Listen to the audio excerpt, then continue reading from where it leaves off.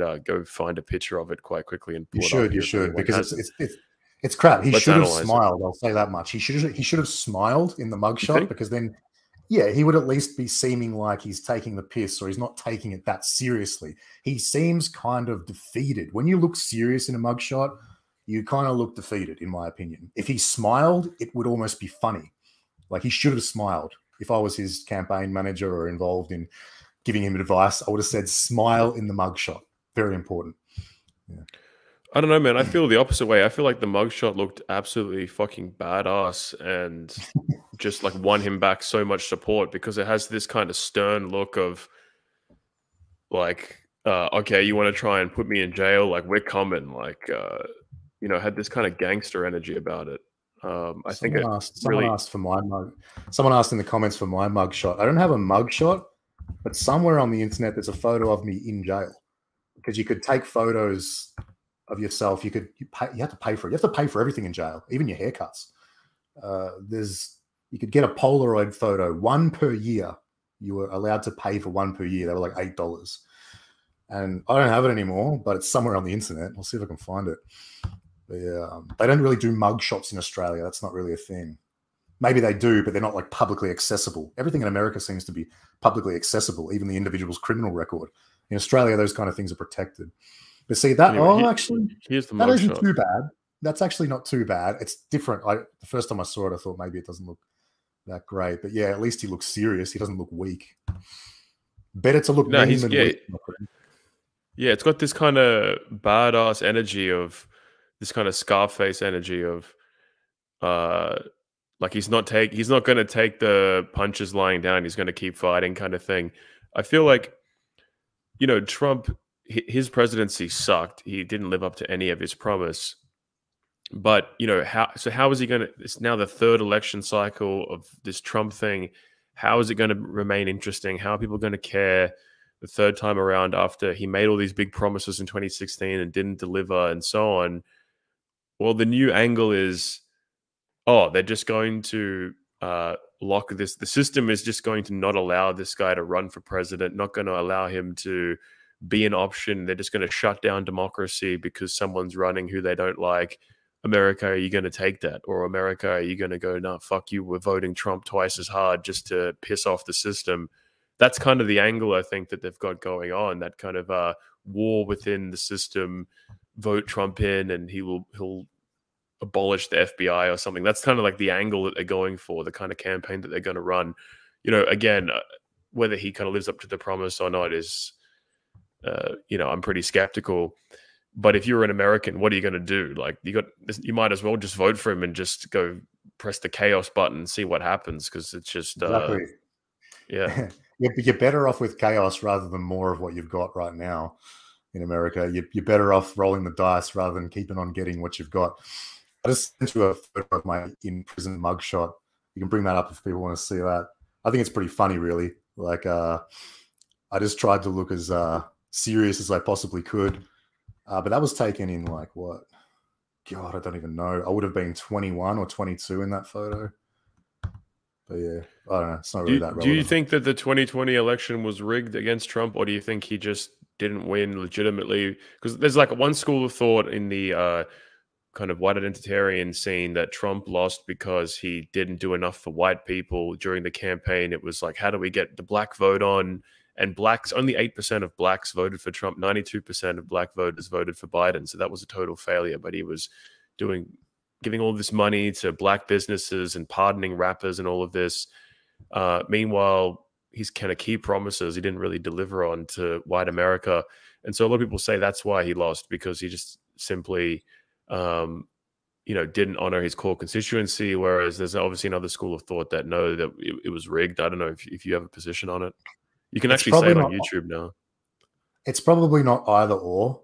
It's probably a combination of things. However, I do think he was he went a little bit too soft on things, probably because he was listening to these old advisory boards and people with experience in, you know, the typical political process of America leading up to that time. But he shouldn't have listened to those people. He should have listened more to radicals because things were becoming more radical at that point in time, and he wasn't radical enough and he was trying to appeal to too many different ethnic groups to keep getting elected and that kind of system it's run its course you've got to be really strong and really radical now you can't beat around the bush too much and do what's being done in the past you've got to like kind of try new things now i think so yeah he was a bit too soft um, on a few questions and trying to appeal to too many people but when you look at how the uh, protesters who marched on the capitol is that what that was when they was that actually in the white house or in a building near the white house that was at the Capitol building where the Congress uh, meets.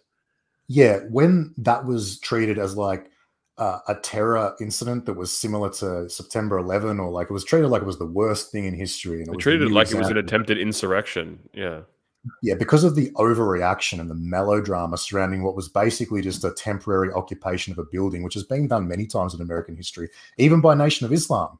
I'll bring them up again. They occupied a government building wielding firearms. No one shot any of them. It was just a protest, and they were escorted out later. It made front page news. I think it was in the 60s or 70s, but that that's the exact same thing. But it wasn't treated like it was a terror incident. It was just a protest. And I think there's people still in jail now for that Capitol March. Some of those protesters. One unarmed woman, Ashli Babbitt, shot. Former military U.S. woman, uh, U.S. military woman, shot for no reason other than she was just participating in the protest. What was she shot by a secret serviceman or something? I don't know all the details, but that was abhorrent, and that was treated like oh she deserved it. The kind of the the lack of representation that those people got by the media and the political class in America was disgusting. And the fact that was treated with such disdain or like it was the worst thing in American history is very suspicious to me. It's like they the people responsible for producing the results that of that election and bringing Joe Biden out as the elected president. It's like they were scared they were actually going to get held to account for screwing everyone over and actually stealing the election. That's what that said to me. It was very suspicious the way that was treated. Yeah, well, it's interesting. It's like uh, it's interesting because it's hard to know exactly how to feel about it. Because on the one hand, Trump is so zogged. He sold off his daughter to well, he married her off to to Jews, literally to Jared Kushner, who's part of like a super connected Jewish crime family, uh, organized crime family that's also involved, I think, in intelligence in some capacity. Um, you know, as I said, his policies that he ran on in 2016 weren't really implemented correctly. They they took some of the sting out of immigration, but it was only a marginal gain. It was nothing too serious. Um, you know, he, he did nothing during the Black Lives Matter riots. Uh, you know, he really should have like crushed those, uh, declared martial law or something. You know, people say his hands were tied for that, but you know, ultimately, it was a very disappointing uh, presidency. Um, and so it's like, well, what's the point of of supporting him again if you're an American? You know, what can you really expect next time that's going to be that different? But then on the other hand, you know, the polarization that this is going this is already generated and that it's going to continue to generate in not only American politics but I think global politics is a positive thing because it's exposing how fraudulent democracy is um, and how if anyone does anything even like in a nationalist style he's not even like a really a legitimate nationalist but anything approximating nationalism or that's too similar to nationalism can't be permitted within a Western democracy, and the entire kind of establishment coordinates with all the elite institutions to crush it. Um, and it's and it's good because uh, it is really exposing the facade of liberal democracy in a similar way, perhaps to if they try and rig this voice referendum in Australia, but just you know. It, I think it feeds in well to uh, narratives in Australia, kind of anti-establishment populist narratives in Australia as well.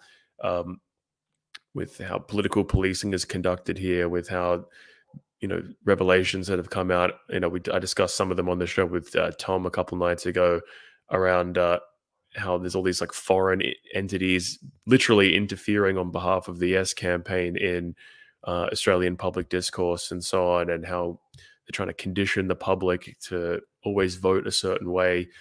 Um, you know, it's it's nice to see. I think, you know, the American political situation. Rather than Trump going out with a whimper, he's going to go out with a bang. No matter what happens, it's going to be content. It's going to be polarizing. It's going to be, uh, it's going to force the system's hand to pull back the veil and create a performance that's interesting. Because whatever you want to say about Trump, he's interesting. Which is like literally no politician ever is, is is interesting. He's the only interesting politician I can think of in the world today, pretty much. So at least in the English speaking world, and uh, that's good. It politicizes society, it polarizes society, and uh, I think these are all positive things.